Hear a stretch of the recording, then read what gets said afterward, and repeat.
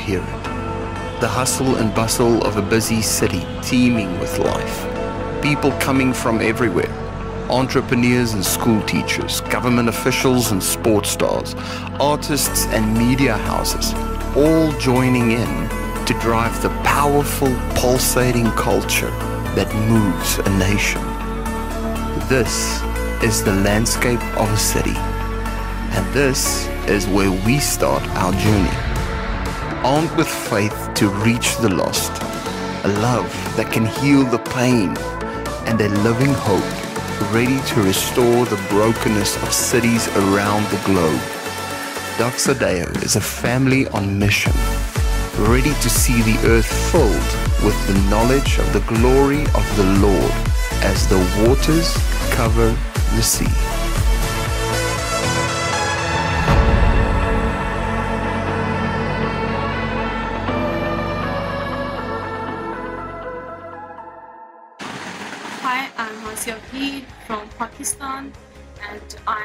Teacher of Sunday school and I'm also work in women's and uh, once a day I see a post on Facebook of uh, Doxa Church and uh, then I got an email then I start a church and uh, I'm join a course this course is very beautiful for me I learn about uh, this too much word of God and then apply on my life. And Doxa Church team is so good. Thank you. Hey, church, welcome home. And what a joy it is to be with you again today. You know, we, we always use that little phrase, welcome home, when we start off a celebration.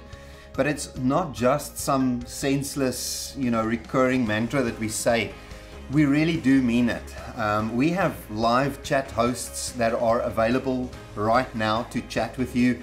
Um, and you know, every time we see somebody typing into the chat function or we see your name coming up on the screen, uh, it's a joy. We recognize God is at work and we recognize this online faith community wants to welcome you home.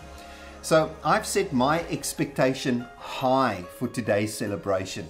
My expectation of, is of God's Word to deeply touch and transform our lives and God's Spirit to, to make us so aware of the presence of Jesus and the Father and the Holy Spirit in our lives right there where you are. Whether you're in bed with your mobile device or whether you're sitting in the couch or whether you're taking a lunch break or whether you're in the kitchen enjoying a cup of coffee.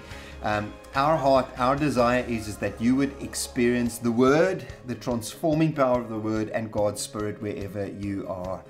As I mentioned earlier, we have chat hosts that are available to chat with you. Please do just type into the box and say hi, or perhaps where you're logging in from. And then do remember, they're also taking live prayer requests. So as you join today's celebration, you can ask for prayer. And we've seen some incredible answer to prayer because we believe that God answers our prayers. Um, if you're watching this offline, perhaps on YouTube, you won't be able to ask for a live prayer request, but you can still email us at prayer at doxadeo.church.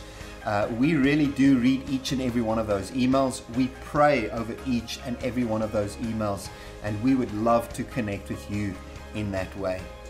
Um, now, today's message um, is the second of a series we've started called Follow.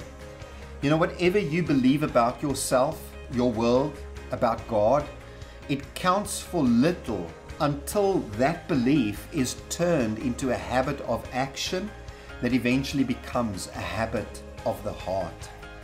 Now, we can all recall moments of revelation or insight or inspiration where we suddenly understood something about what life is about or what greatness is about or what we are about or how we would want to live, even. But a day, a week, or at most a year later, the inspiration will fade and become just a distant memory. And we are left, as we were before, unchanged. Now, that is what this series addresses creating habits of action that become habits of the heart to follow Jesus. You know, and today we want to speak about the habit of faith community. Uh, we all have friends, we all have a community.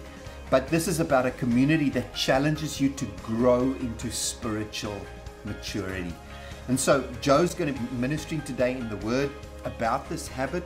But before we go into the Word, let's celebrate our inclusion into the death, the resurrection of Jesus Christ um, as we worship together. God of grace, you've given me your plans of hope, and I believe that I am healed, I've been set free. With Christ I stand in victory.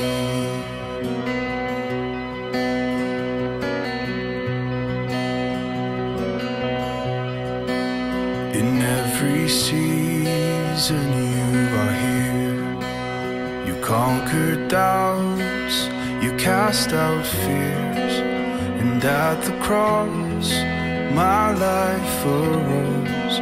I reign in Jesus Christ the Lord.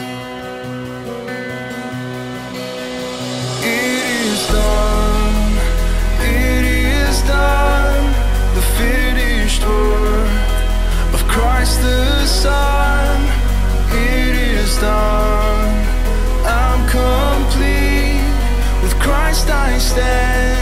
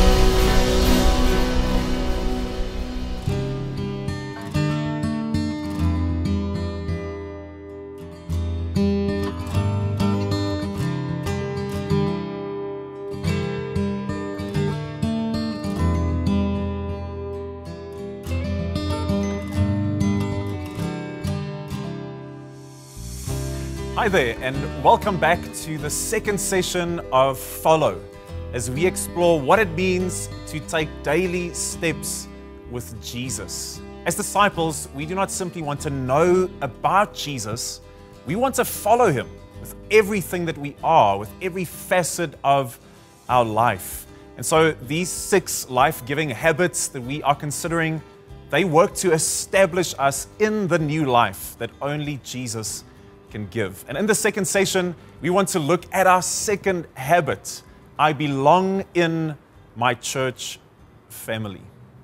Now, John Ortberg tells of the author Susie Becker. She writes the All Better book that asks young kids to try and find solutions for big issues facing our world. So, on how bosses could make the workplace more pleasant, Yesenia, age nine, says, Give people a five hour break. That sounds ideal in my mind. On what to do with lawbreakers, seven year old Lily says, Make them do gymnastics for a month. Isn't that brilliant? Sore hamstrings sorts out crime. But the toughest problem of all, they say this with billions of people in the world, someone should be able to figure out a system where no one is lonely. What do you think? They ask. And the kids come up with some really interesting answers. They say, find lonely people, ask their names and addresses, then ask people who aren't lonely their names and addresses, and when you have an even amount of each, assign lonely and not lonely people together in the newspaper. There you go.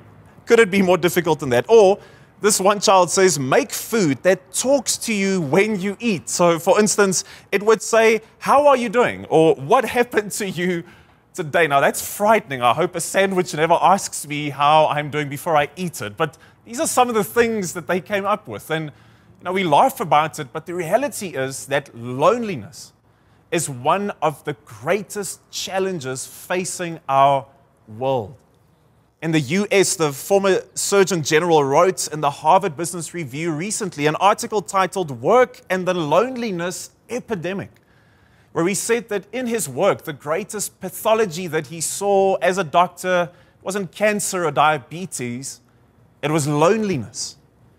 He said it's worse for your health than smoking 15 cigarettes a day and it crushes the soul. In 2018, in the UK, the Prime Minister appointed a Minister of Loneliness to try and tackle these detrimental issues that come with this loneliness epidemic. And research has shown that Gen Z and the millennials, some of the youngest generations on record, they take up spots one and two for the loneliest generation. So the most technologically connected people on earth are also the loneliest to this question with billions of people on the earth, someone has had to come up with a system by this time that no one would be lonely. And I want to say that someone did. And it's called the Church of Jesus. But of course, when I say that, many of you would roll your eyes and say, The church? Because you have a picture in your mind of what the church is all about. But I want to show you that the church is so much more than most of us realize. You see, from the very beginning, we see that the early followers of Jesus, they committed themselves to interpersonal and connected relationship. In the book of Acts that tells the early story of the church, we see that 3,000 people respond to the message of Jesus. And look at how natural the next step is. Acts 2, verse 42 says, All the believers, those who responded to the good news of Jesus, they devoted themselves to the apostles' teaching, to fellowship, to sharing in meals, including the Lord's Supper, and to prayer. This is what Jesus taught in Matthew 16, verse 18, when he said, Upon this rock I will build my church. So let me ask you, what's your picture of the church? What comes to mind when I say the word church? And maybe just for a moment, consider the picture that the Bible sketches. Because, first up, the Bible says when it comes to the church, we should see it as a family. And that's maybe surprising to many of you. You think the church is an institution, it's a building, but the Bible says It's a family. Ephesians 2:19 says, "You are members of God's family." The message of the Bible unashamedly is that God is our Father and we are His children. And so the global church is this global family, this global house with all these different rooms. And, and though we might have different preferences and styles and how we gather and how we worship, how we execute the mission of Jesus, we are united as one great family. In fact, the Christian philosopher Dallas Willard put it like this He said, God's aim in human history is the creation of an all inclusive community of loving persons with Himself included as its primary sustainer and most glorious inhabitant, family.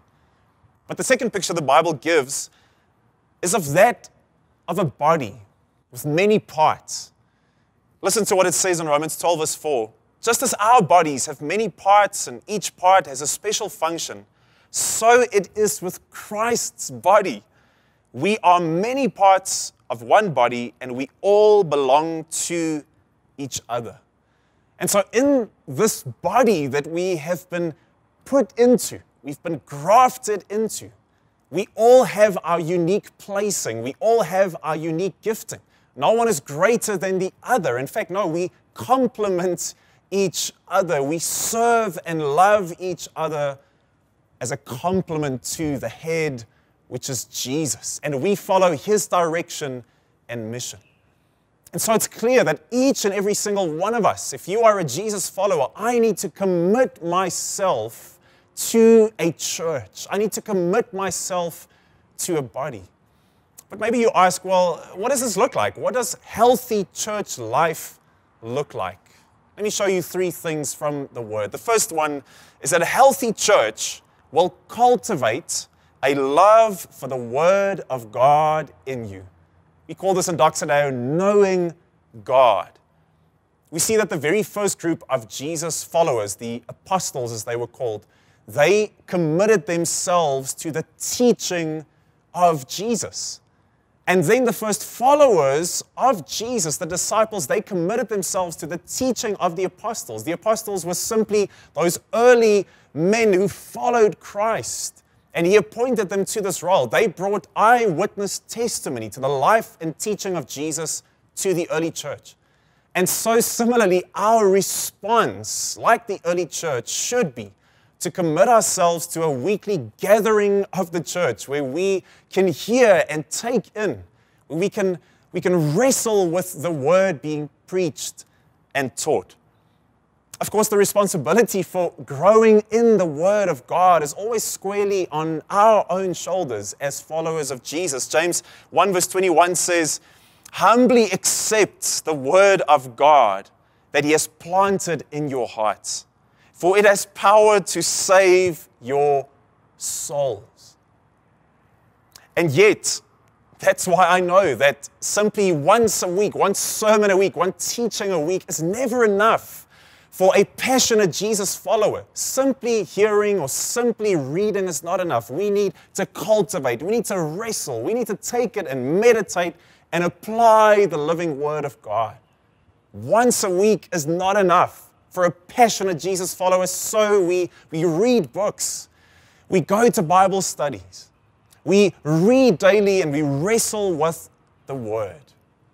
And of course, if you haven't gathered yet, being a follower of Jesus means that you are a student of Jesus. And therefore, one of the best ways to internalize this Word of God is to find others that you can teach about Jesus.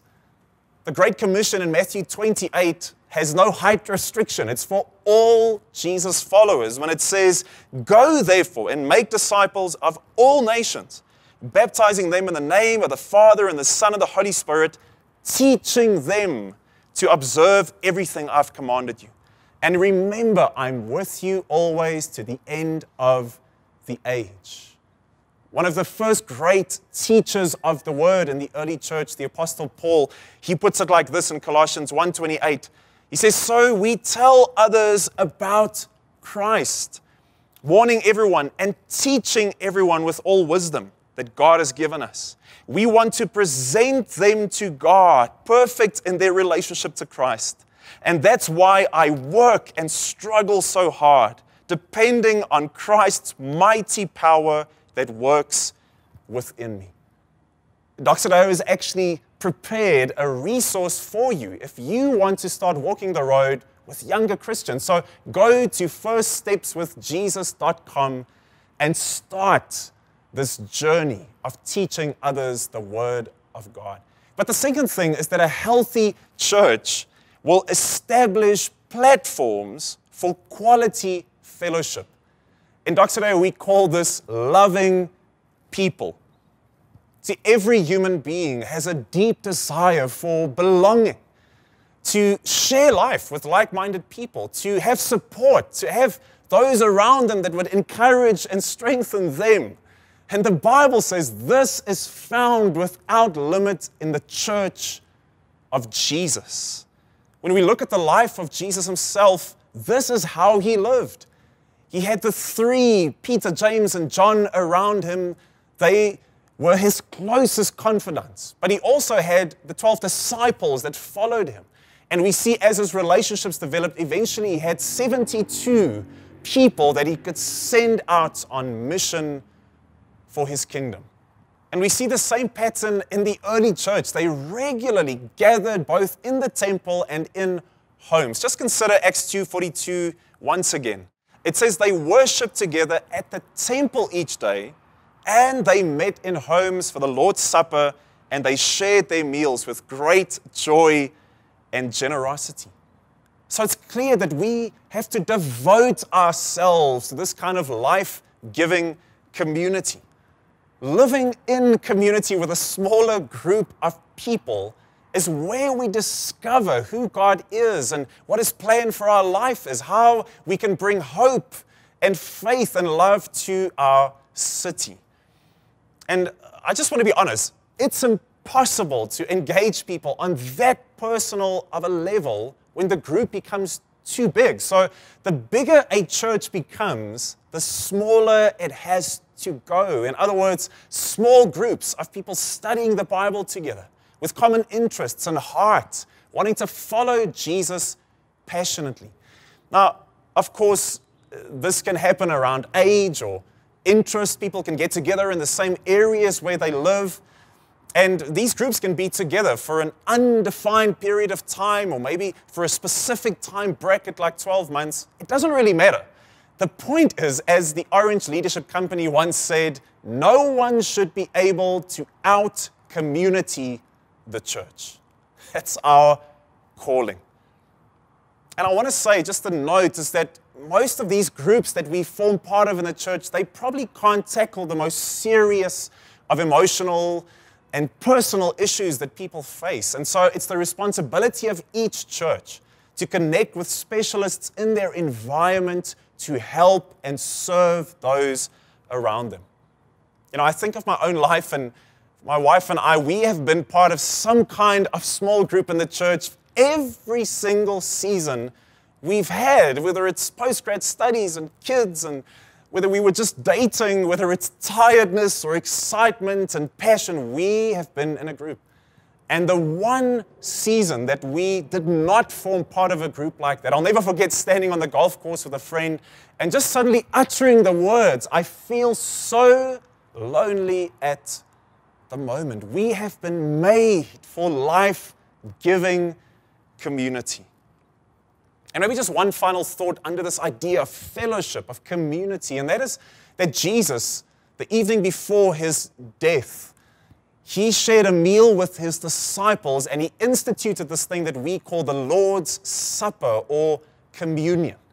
Let me read to you from Luke 22, verse 19. And he took bread, gave thanks, broke it, and gave it to them, and say, This is my body, which is given for you.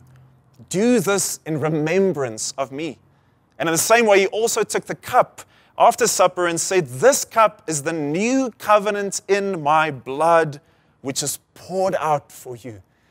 And we see this pattern constantly repeated in the early church. Again, Acts 2 will show us that the church regularly both in homes and in the temple courts, they would share this meal, this Lord's Supper, and the principle was clear. The Lord's Supper is a moment to celebrate the grace that God has so freely poured out over us in this love sacrifice that Jesus came to accomplish as John 3:16 says. But then lastly, a healthy church will help you discover your calling as you fulfill the mission of Jesus. And in Doxa Deo, we call this impacting my world. You see, many people live literally just for themselves. But this is not how we have been designed. God has made us to contribute. And you have to discover the fact that you will find true joy when you are not simply receiving, but giving.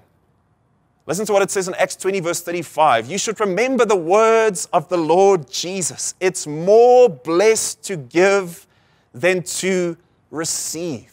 True joy comes from this constant flow of both giving and receiving. You have to hear today that you have such a contribution to make. God has made you unique with passions and gifting, with skill. He's given you certain things that make you come alive that other people would not even consider, it would drain them. But as you enter into those giftings, those passions, those strengths, you make such a difference in the lives of others and you take the mission of Jesus forward. You have such a contribution to make. Your life has purpose. Ephesians 4, verse 1 says, Therefore, I, a prisoner in the Lord, Paul speaking, I urge you to walk worthy of the calling which you have received. That's for all of us. The word calling simply means the unique invitation that God is making to each of us. It's almost like a coach who calls a certain individual to play a role on their team. And in the same way, God has called every single Jesus follower to take up a unique role in his team, the church. Romans 12, verse 6 says, In his grace, God has given us different gifts for doing certain things well. So, if God has given you the ability to prophesy, speak out with as much faith as God has given you. If your gift is serving others, then serve them well. If you are a teacher, teach well. If your gift is to encourage others, be encouraging. If it's giving, give generously. If God has given you leadership ability, take the responsibility seriously. And if you have the gift of showing kindness to others, do it gladly. Now, I think of Chariots of Fire. Eric Liddell, this Olympic star, he's, he's gearing up for the 1924 Olympics, and he's confronted by his sister who's convinced that he should rather become a missionary to China. But he says to her the following He says, I believe God made me for a purpose, and He has made me fast. And when I run, I feel His pleasure. When we function in the gifting and the strengths God has given us, we will experience the joy of God over our lives. Let me just consider this example. Maybe in the church context, you have a passion for the next generation.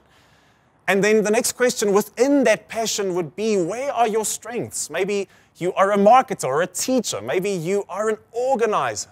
Maybe administration is your strength or, or connecting with people on a personal level. The point is, it's, it's when I find that place of unique contribution, of, of giving of myself, that church comes alive. And the Bible teaches that you have been called to fulfill this purpose, this mission of Jesus in every area of life. So, firstly, God calls us to fulfill his purposes in our family. Faith starts at home. You have a unique contribution to bring to those who are closest to you. But secondly, God calls us to fulfill his purposes also in our workplace. You have a unique God given contribution to make to the space you work and the industry that you represent. And thirdly, God calls us to fulfill His purposes in our cities and the areas and organizations that we engage with. And maybe now that we know the way of God calling us, maybe the last thing to look at is the what we bring to these spaces. Each of us are called to God's team, and Jesus wants us to bring love and faith and hope to our cities and nations. We bring faith to those who are spiritually lost, reaching those who do not yet know Jesus. That was part of his mission. Luke 19:10 says, Jesus came to seek and save the lost. But secondly, we are called to bring love to those who are experiencing social pain. To bring that kind of healing was part of the mission of Jesus. Luke 4:18 says that Jesus came to heal the pain of those experiencing that kind of hurt. And thirdly, we bring hope where there is systemic brokenness in society. It's part of the calling of each Christ follower, as Matthew 28 says, to bring the kind of kingdom to bear on this earth, that where every person who follows would flourish.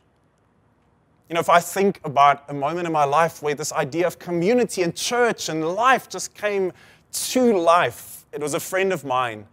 And he picked up a scrap with a guy in another school, and this guy was so angry at him, he literally punched him in front of all of his friends it was a deeply humiliating moment in his life.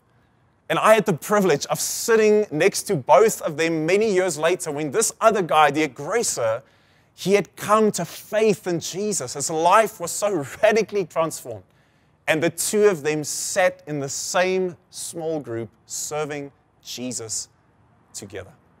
So, in closing, when it comes to this kind of devoted relationship that we call the church, Doxa Deo loves this word partner.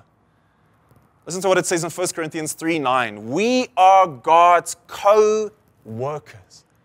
In the church, we are co laborers, co partners. We are the co workers of Jesus and his mission on this earth. And so, the purpose of our faith is not simply to go to heaven one day, it is to experience God quality life with others as we pursue the heart and the character and the mission of Jesus today. You know, I have a close group of friends that I've known since high school days. And we've gotten together every single year since we left high school. We call it the Big Five Weekend. It's corny, but it works for us. But I'll never forget one of the early years in this journey it was work, it was tiredness, it was frustration, and it looked like this weekend was not going to happen. There was a rumbling amongst the people. And I got so frustrated, and I had this William Wallace moment of saying to them, guys, we have to make this work. We have to fight for this friendship. And that's exactly what the church is. It's this beautiful family and community that we fight for. It's when you realize that when you fully devote yourself to this family that you benefit so greatly. It's there where you discover who you are. It's there where you go on mission. It's there where you experience family. Daily steps with Jesus means that I belong to my church family. Let's pray together. Jesus, I pray that we would be so stirred for your family, that we would find a place of belonging, of purpose, of healing, and of mission. I pray that every single person that hears my voice would know that you have called them uniquely and placed them specifically. In Jesus' name we pray. Amen.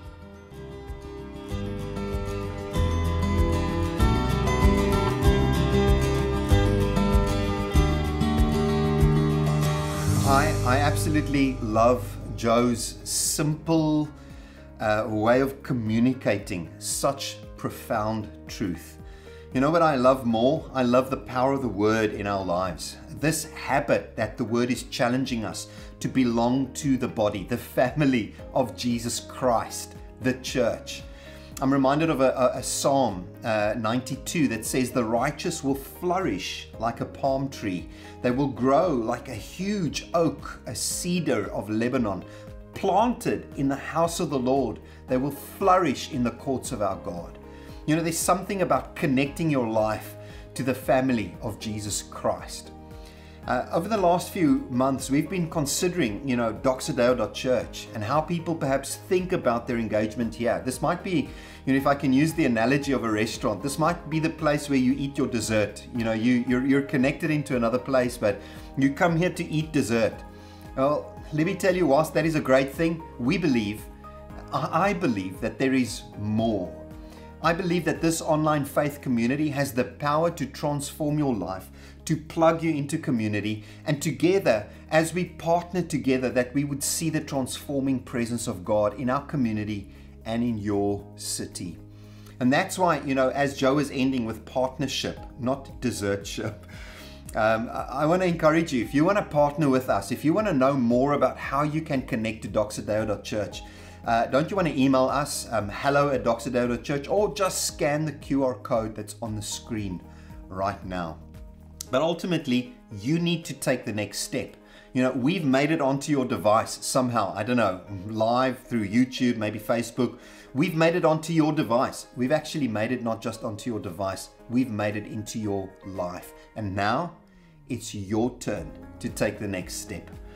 So go on, just do it. Um, we want to encourage you to join us um, in a YouVersion reading plan. It's a daily reading plan about uh, scripture that connects to this week's word. Uh, again, you can just scan the QR code that's on the screen right now, um, and you can join us as we read together, um, encouraging daily devotionals and portions of scripture to continue our journey in growing these habits that will transform our lives. Um, community, um, we have multiple different life groups that you can connect to. One that I want to highlight for you is Mothers That Pray. On Monday, uh, on Mondays, every Monday, there's a group of women that come together that pray for their families and pray for their children. Um, if you want to join that, you can just email us at prayer at church. The website, if you want to connect to that. Do remember that your giving is also important as we partner together, not just dessert together, as we partner together um, and not just by attending, but also by praying and giving. We amplify the word of God throughout the world in spaces that the local church perhaps would never be able to access. The last thing before we worship together at the end of uh, our celebration today, I want to remind you of our School of the Word. Sit, walk, stand. This is a journey, a two week journey through the book of Ephesians. Now, there's no way that we could do a comprehensive study of Ephesians in two weeks. Uh, but Lofty Nell wants to highlight these three essential ways of seeing your identity in Christ from the book of Ephesians. He's going to do it over two Sundays. And for your convenience, we have two different time slots that you can engage this in. Do remember there's absolutely no cost for you to come and sit under the word. It doesn't cost you a single thing except your time. That's why registration is absolutely necessary. It helps us connect with you and send you all the relevant information to make sure that you're on time and in the right place and in the right Zoom room to be able to join us uh, in this School of the Word. Sit, walk, stand, your identity in Christ from the book of Ephesians. Um, it starts next Sunday, so you have to make sure you register today. Um, we've come to the end of our celebration, not our end of time of ministry, because after this, there's going to be a time of worship again. Uh, but I want to encourage you. Can I pray over us? Um, can I pray over your life? Um, you know, on a personal note, my mom passed away at the beginning of August. It was. Uh, was a huge shock for us. Um, we're obviously in the United Kingdom. She lived in South Africa. We weren't able to travel. So it went with all the necessary challenges of being able to do that. But can I tell you, uh, being plugged into a household of faith, being plugged into a faith community, these are the moments when these things really deeply make a difference. And so, can I again just underline the importance of plugging into the household of faith? And here, plugging into doxadeo.church becomes an incredible, beautiful way for you to connect your life to that which God has destined for you. So let's pray. Father, thank you that I can pray over my life, over our family, over each and every person that is on this um, uh, celebration today. Whether you're watching this live or whether you're watching this um, uh, as catch up. Lord, I want to pray, Father, where you reveal yourself to them right now in this moment. May there be a sensing in the room that you are present. May there be a sense of tangible experience that you have not left them alone. You have not forgotten. You have not deserted, Lord. You have come into a place of your loving kindness, of your grace that you want to pour out over people's lives.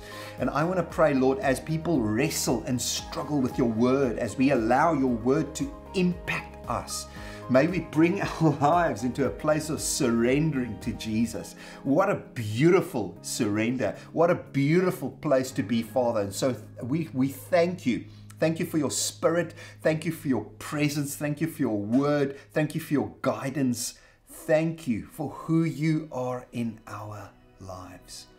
We celebrate that not just individually, but we celebrate you, Lord, as a community of faith in Jesus' wonderful name. Amen.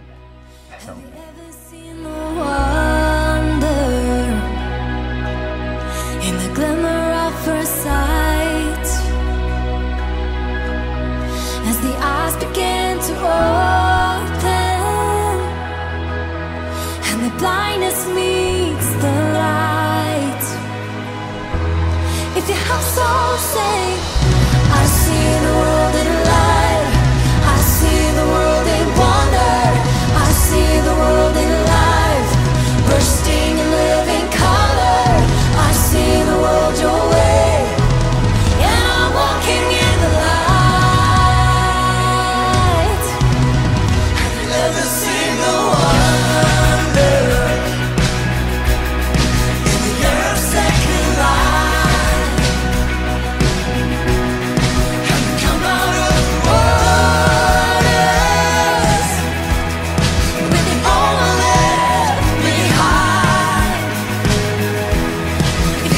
I see the world in light.